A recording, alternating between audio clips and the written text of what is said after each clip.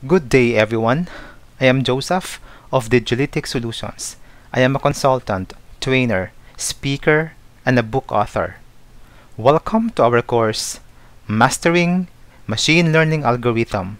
In this lesson, we will learn about conditional probability. At the end of the lesson, you are expected to identify the concept of conditional probability, relate the concept of conditional probability to real life, and appreciate the concept of conditional probability. In our last session, we talked about probability and distributions.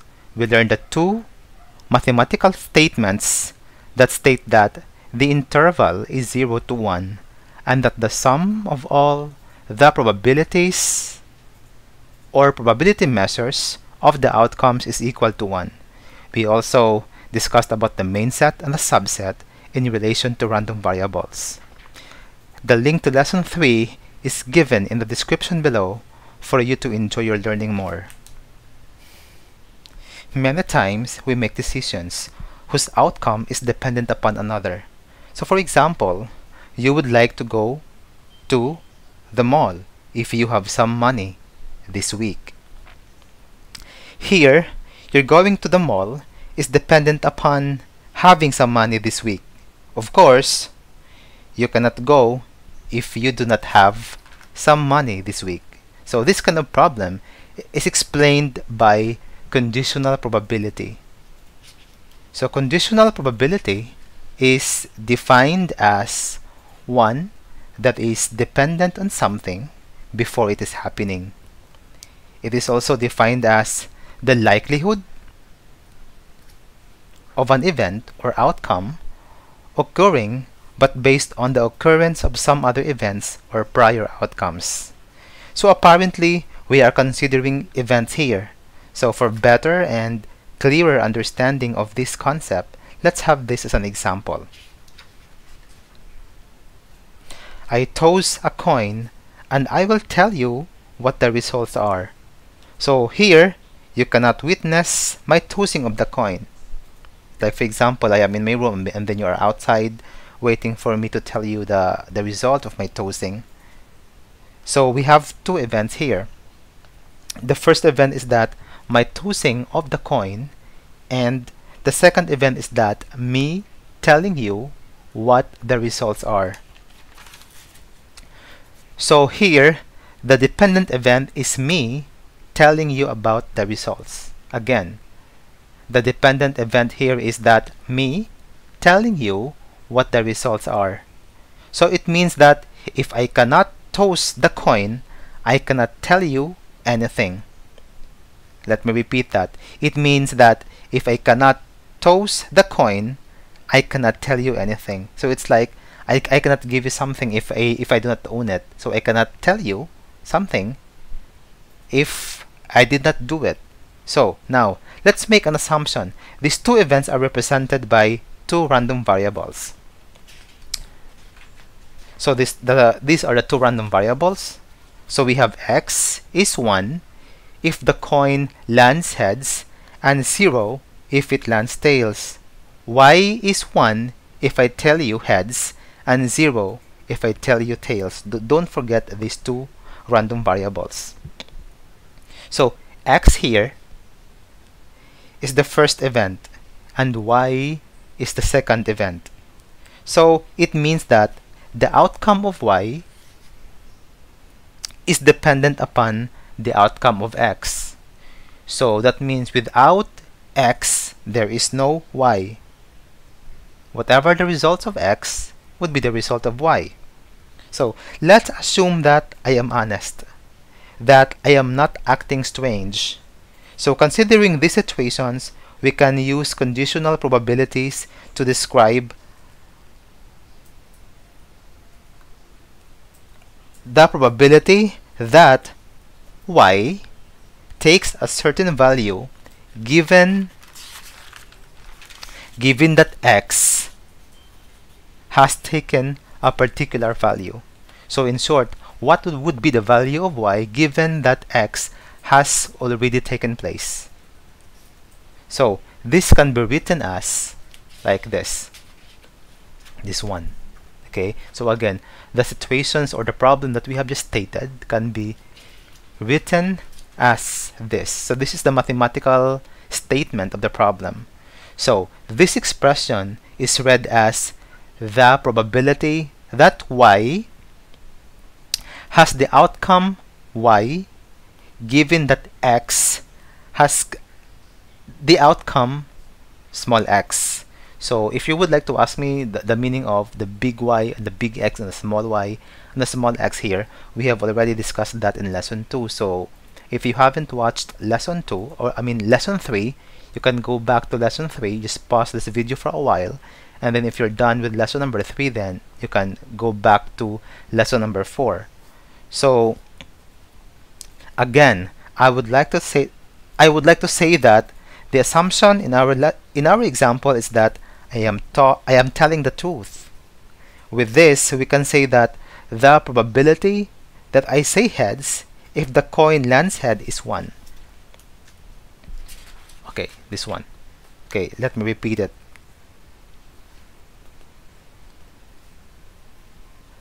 So we can say that the probability that I say heads if the coin lands head is 1.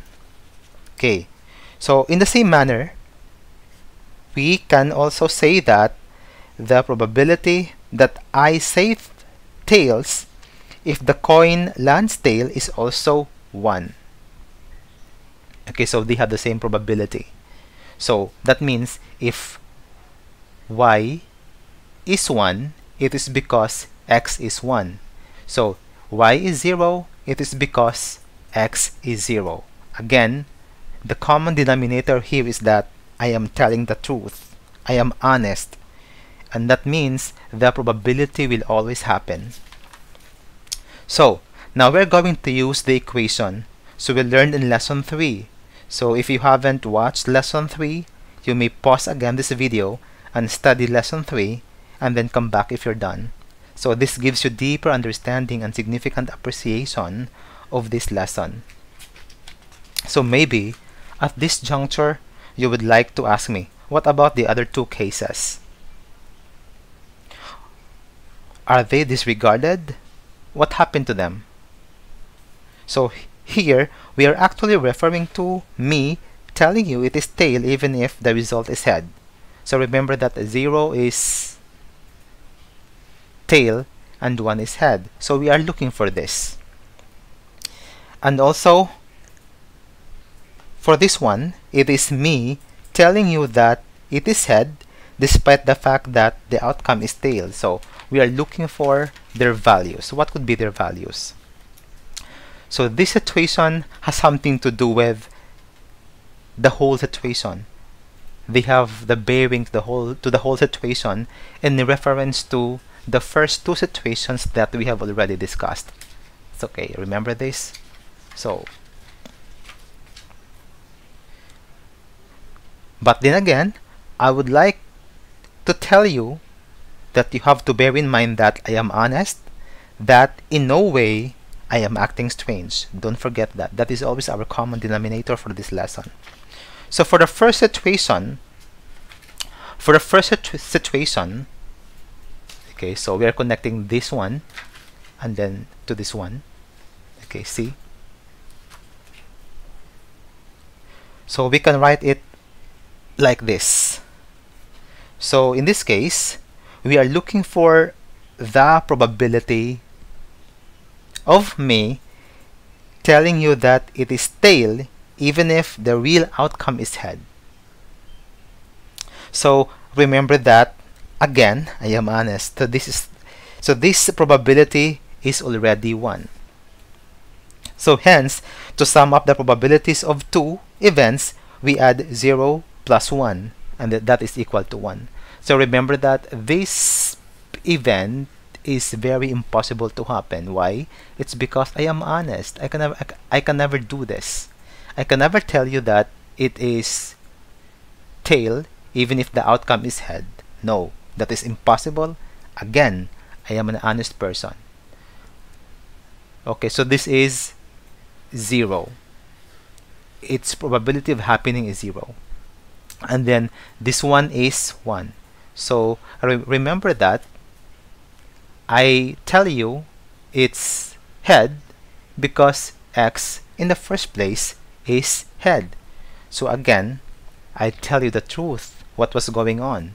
So 0 plus 1 is equal to 1 now so this satisfies our equation 2 the probability of me telling you it is tail even if it is head is 0. So this is because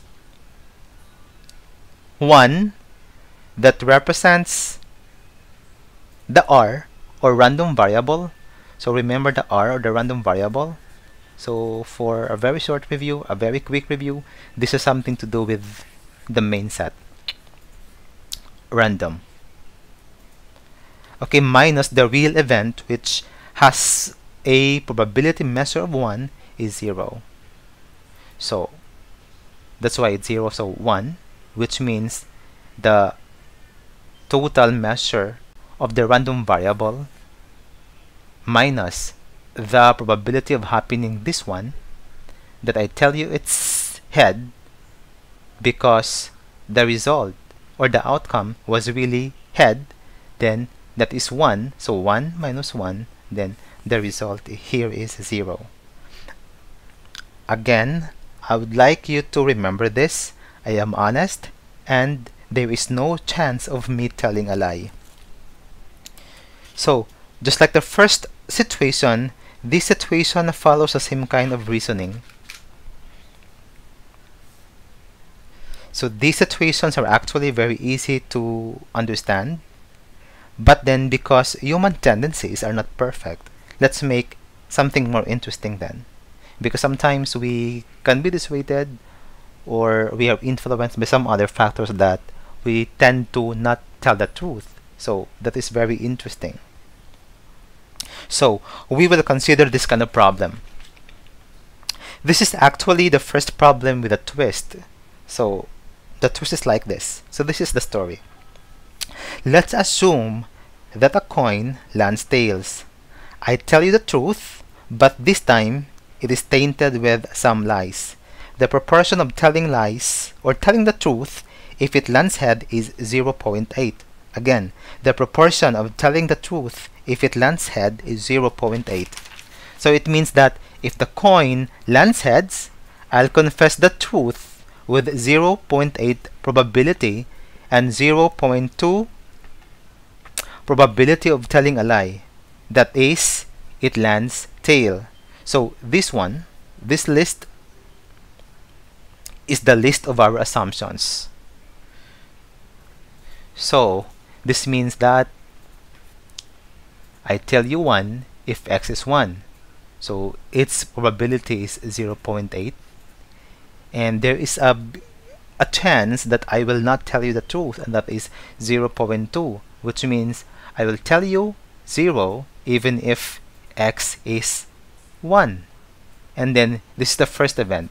Then we have here the first two I mean the, the last two cases and that is I'll tell you one if even if x is 0 and I will tell you that y is 0 if x is 0 so this is our first event. This is our second events.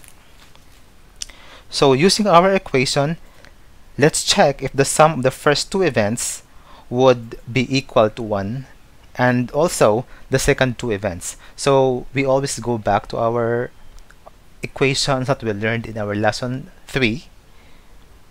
So the equations can be written as this, just to prove that this one and then this one is equal to 1. So here we add 0.8 and 0.2.